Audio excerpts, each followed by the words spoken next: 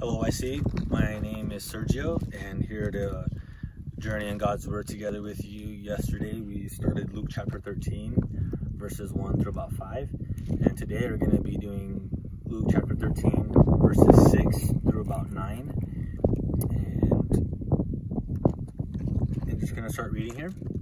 And he told this parable A man had a fig tree planted in his vineyard, and he came seeking fruit on it and found none. And he said to the vine dresser, Look, for three years now I have come seeking fruit on this fig tree. I found none. Cut it down. Why should it use up the ground? And he answered him, Sir, let it alone this year until I dig around it and put manure on it. Then, if it shall bear fruit next year, well and good. But if not, you can cut it down. So this, the parable is based off of the idea of what's happening in the previous verses, which is repenting. Uh, if you don't repent, we shall perish. So obviously, if we repent, there's obviously fruit of repenting. We can't say we've repented and there be no change, otherwise it's not repenting, right? And but we need to back up even a little bit further to the end of Luke chapter 12, because this is all one teaching, all one setting. And so Jesus is saying to be ready, that the Lord will come like a thief in the night.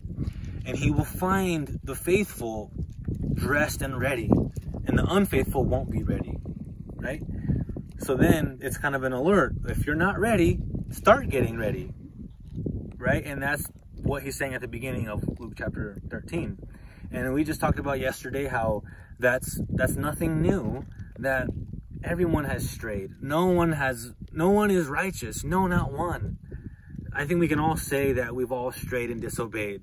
Otherwise, we're, we're a liar, as First John says. He who says he has not sinned is a liar. I confess, I've sinned, I've strayed. But the, the, the ultimate point is to come back. But when we come back, there's fruit of coming back. And so Jesus is giving that parable of like a fig tree. If you come to a fig tree, you expect to find fruit. But if you don't find fruit, then it's not bearing any fruit. Get rid of the tree. He's offering more time. And we see God's patience along with His grace. His grace is to give us another chance. And then His patience is to give us more time. Not just give us a little while and say, oh, you didn't make a change, you didn't repent, good enough, you're done. No, He's so loving and so patient. There's an Old Testament example of this, and that's Jonah when Jonah is given the task of preaching to Nineveh, he doesn't obey the first time. He actually goes the other way, clear across the world, but then God stops him. He stops him in the belly of a, of a, of a fish. Most of us know it as a whale, right? But it was just a fish. But he spits him out because that's his other chance. That's his other chance to try it again, Jonah. Repent. And that's the message that Jonah gives to the people of Nineveh repent. So that's one example of how God has just shown himself over and over to be patient.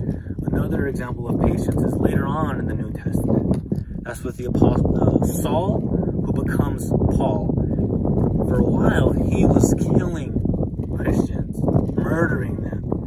But then he has an encounter with Jesus in Acts chapter 9 and his whole world is reoriented. It's very evident that he's made a change, but he needed time for that. And so I just want to give you that encouragement today that God's not done with you. He's giving you another chance, and it's your choice what to do with that gift of time and patience.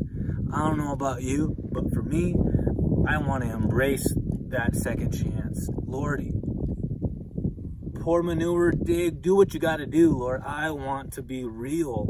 I want my change to be real.